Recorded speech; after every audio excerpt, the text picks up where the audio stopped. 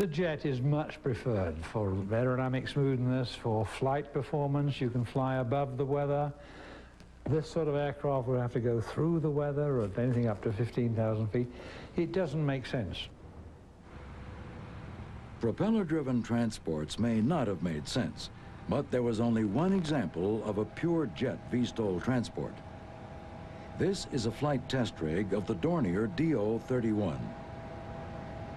The DO-31 program was funded by the German government with the goal of producing a light military transport which could take off and land vertically. Dornier had studied various types of VSTOL propulsion. They rejected the tilt wing because it was too complex and concluded that propellers lacked efficient cruise at altitude. In the end, they settled on an ambitious design.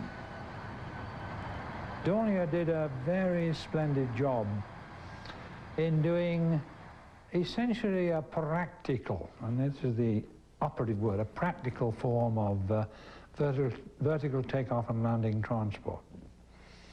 And again, it was a mixture of lift engines and vectored thrust engines.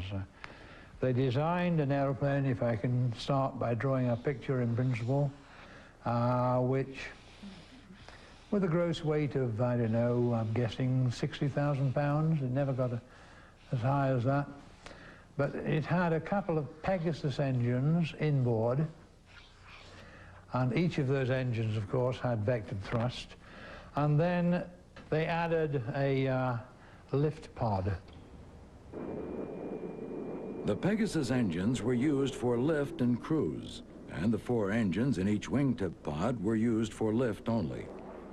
Pitch was controlled through a split nozzle at the tail, which could redirect bleed air up or down.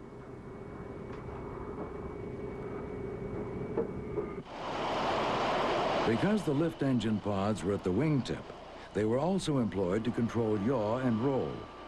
Yaw was induced by tilting them 15 degrees forward or aft. Roll was provided simply by giving more power to one side. This large seesaw test rig was used to refine the reaction controls in a simulated hover position. The massive stand gave the test pilots free movement in pitch, yaw, and roll. When the reaction control testing was complete, the skeletal DO-31 framework was ready to hover freely. The first hover attempt did not inspire much confidence in the airplane.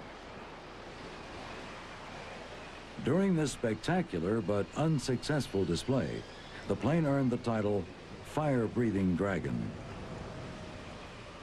An investigation of this first hover attempt revealed that the engine nozzles had swiveled beyond 90 degrees, causing hot gas reingestion and engine compressor stall. The second attempt was made on February 8, 1967. During the third flight attempt, the DO-31 surprised the pilot by jumping into the air while attempting a rolling vertical takeoff. Because the pilot had not intended to hover, the lift engines were tilted 5 degrees back, with the Pegasus engine nozzles swiveled to an 85 degree setting. But instead of a rolling takeoff, the Dornier test pilots found themselves hovering in an awkward nose-up position.